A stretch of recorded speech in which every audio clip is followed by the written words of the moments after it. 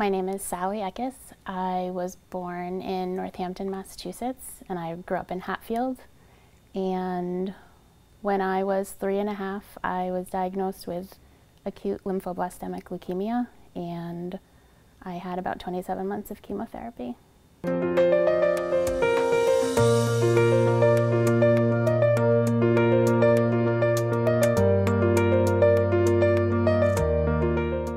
Memories that I remember from when I was in treatment are mostly sensory memories. They're olfactory and emotional. If I have rubber gloves on, if I'm cleaning, or if I'm chopping hot peppers, which I like to do, um, the smell of the rubber gloves instantly brings me back to being in the hospital. And I have memories from what my parents have told me growing up over the years.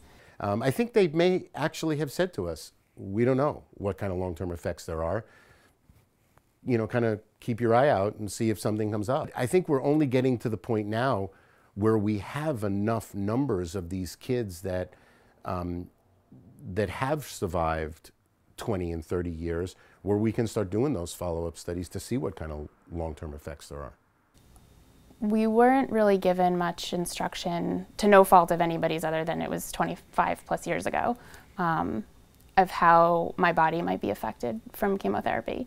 And as I've gone through different challenges physically, pretty much solely around my diet and digestive issues, I've come to put pieces of the puzzle together myself. We didn't recognize it or treat it properly until she was in college because it was one of the side effects that was never talked about.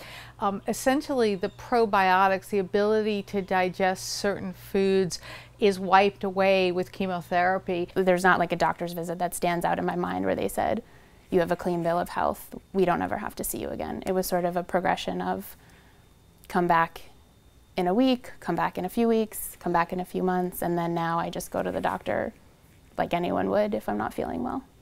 And still nobody has said, because of your chemotherapy, this is why you're having digestive issues. And, you know, there's no way to know for sure.